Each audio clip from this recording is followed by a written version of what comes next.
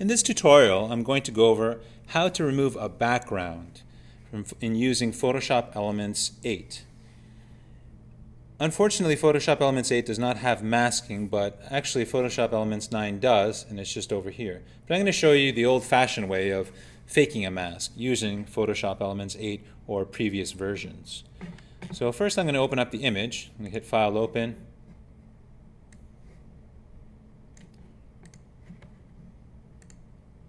I have my image here.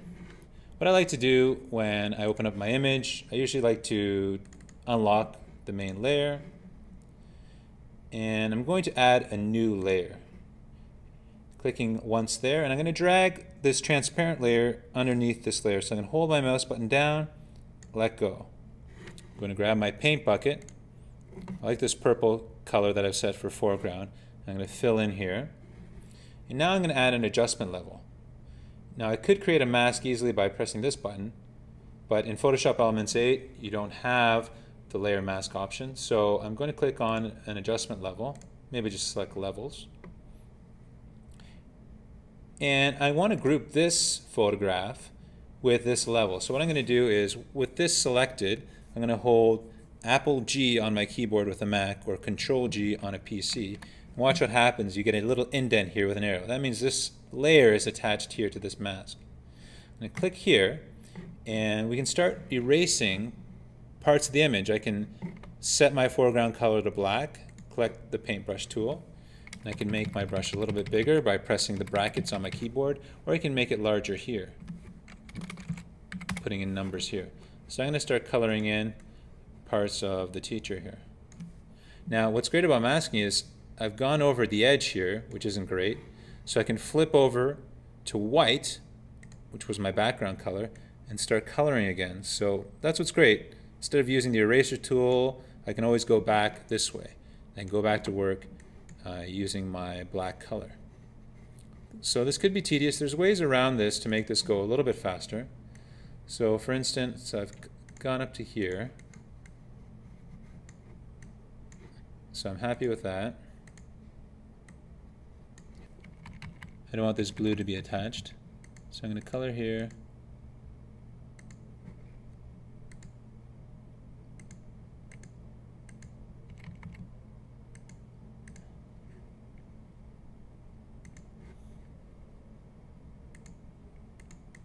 Perfect.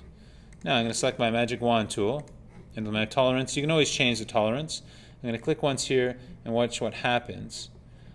I'm selecting all the blue around uh, this teacher's head and I'm going to fill this with black. So to do that I can hit edit, fill selection with black, hit OK and now I've removed that. I can hit select, deselect and there's very little blue on the edge and I can go back to coloring with black. I notice I've missed a bit here, missed a bit here, and I've missed a bit here. Again, I can grab my magic wand tool, maybe decrease the tolerance a bit, 50, and I can hit Alt backspace. That's a fast way to fill with the foreground color. Okay. And I have to deselect if I want to keep using the paintbrush. So I'd hit select, deselect, and again I can start coloring here to get rid of the edge. So looking good. I'm cutting out my individual here and I'll be able to paste them on a transparent background or a different background So I missed a bit here as well. Purple probably wasn't the best color. If I'm not happy with that color, I can always change it. Uh, I don't know, let's use white or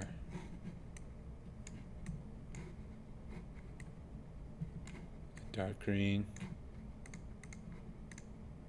Okay, and I can see better. Make sure I click on this layer. I can get rid of more things. So if you're not happy with the blue as well, you can zoom in into the hair and I can try to get rid of some of that blue as well. I noticed here I missed a section here. So again, by using a layer mask, I'm going to zoom out here. I can fix up that hair later as well. I could darken it, uh, but I'm not going to show you that. But this is just a quick way of uh, masking and removing a background. That way you can insert someone into a different place or put them on a transparent background using Photoshop Elements 8.